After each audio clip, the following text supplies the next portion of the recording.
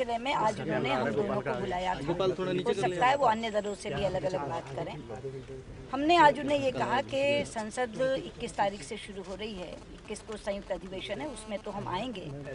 लेकिन 22 तारीख को आप सुबह ही जेपीसी का ऐलान करें।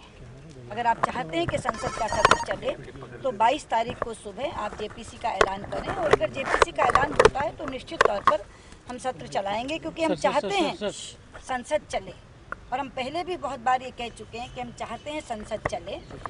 पता नहीं क्यों सरकार अड़ी हुई है तो सरकार अपना अड़ियल रवैया खत्म करे और 22 तारीख की सुबह ही जेपीसी दे दे ताकि उसके बाद से प्रश्नकाल शुरू हो।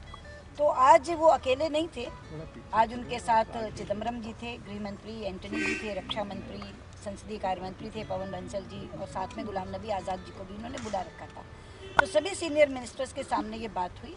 और हमने अपनी बात दृढ़ता से दोबारा दोहरा दी है कि ये भी कह दिया कि 22 तारीख की सुबह अगर जेपीसी की घोषणा हो जाती है तो संसद चल जाएगी। Okay, मैम जेपीसी की घोषणा सिर्फ़ टू पर है या फिर ओवरऑल मसले पर जो बीजेपी हमने तो उन्हें कहा है कि आप तीनों पर दें क्योंकि कल अडवाणी जी ने जो बात रखी थी, वो बात हम उनके सामने रख रहे हैं। अब ये सरकार के ऊपर है कि वो बात करने के बाद, आपस में प्रधानमंत्री से बात करने के बाद तीनों पर देते हैं, एक पर देते हैं, बाईस को देते हैं, नहीं देते हैं।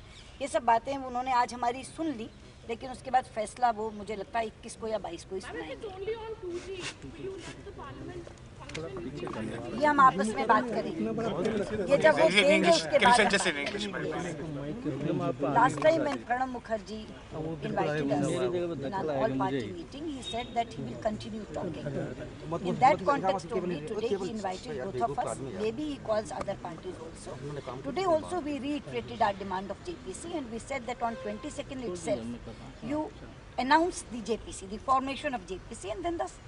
session will run. Ma'am So this was सवाल मैम प्रणब मुखर्जी जी या सरकार के रुख में आज जो आपने बातचीत की कोई नरमी दिखी ऐसा लगा कि शायद जी हाँ नरमी दिखी और नरमी इस बात से भी दिखी कि वरना वो शायद हमें बुलाते ही नहीं अगर पिछली बार की बात से उन्हें ये लग गया था बहुत साफ़ कि जेपीसी के बिना संसद नहीं चलेगी इसलिए हम काफ़ी आशावादी होकर आए हैं आशान्वित हैं So when you when you say when you say that uh, you'll wait till on, on the 22nd, so 21st for the president's address, there will be no issue. Twenty first was never was there an issue.